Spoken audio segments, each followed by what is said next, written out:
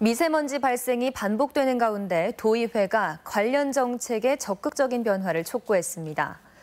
도의회 최영규 의원은 정례회에서 익산의 미세먼지 농도는 인근 전주나 군산과 달리 법적 기준을 초과할 만큼 심각해 설문조사 결과 시민 74%가 타 지역 이주를 고민하고 있다고 지적했습니다.